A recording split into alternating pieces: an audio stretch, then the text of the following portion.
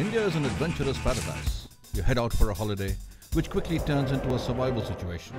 A dream turns into a nightmare. I'm thirsty, I'm tired, I'm hungry, and I'm lost. Shelter, water, and food become a priority. A fire to keep you warm. But how? I'm Chandan Lahiri from OTA Survival School. I'll give you some tips and show you some tricks to use in a self reliant situation. Do not think problems can only happen to other people, it can happen to you.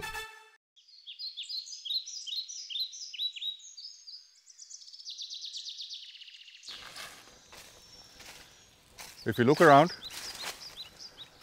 there's nothing to tell me which way to go except the sun. And if I have to go in a particular cardinal point, north, east, west, south, I can use the sun to pretty much tell the direction. But if it's cloudy, if there's no sun, there might be a problem. And you might go down this way or might go down this way, whereas you should have gone down this way. And suddenly, 100 yards down, you turn around and you don't recognize anything and you're lost. And that'll put you in a survival situation.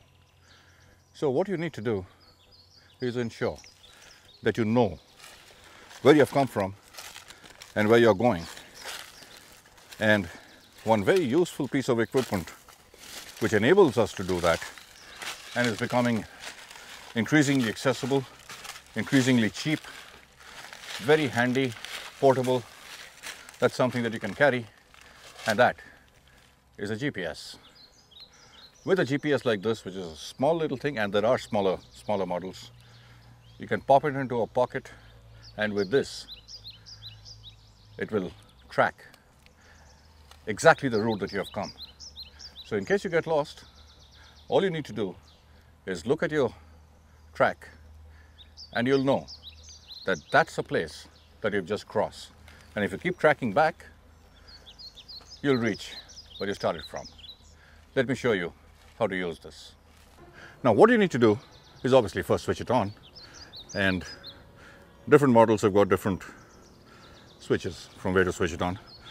Once it switches on, it'll track onto the satellites and tell you your exact location at the point that I'm standing here.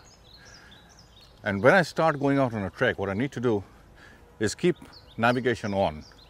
As you can see now, it's acquiring the satellites. And as it acquires at least four satellites, it's ready to navigate.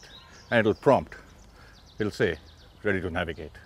Which means that it'll keep on logging every step that you take. It's already given my current location. As long as I've marked this particular spot, I can use the GPS to come right back here. And I'm not lost at this point. I'm starting from close to the roadhead and I'm going to be heading out into the mountains. And as I walk, it'll form a dotted line, which is going to be the track that I'm taking. So in case I get lost or it becomes evening or I get injured, I already have the track that I will be taking. And once I have that, I'm not lost anymore. I'll use the GPS and find my way back. That's how important a GPS. Let me take a walk and I'll show you how the track is formed.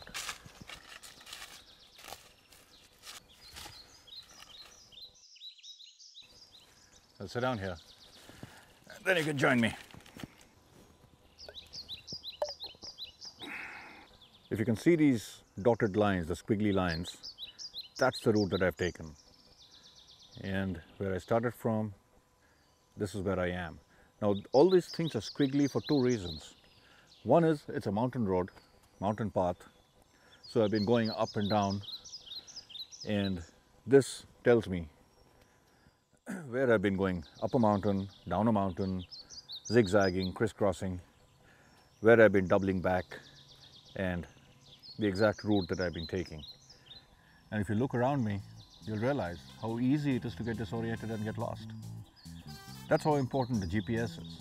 And remember, it can happen to you.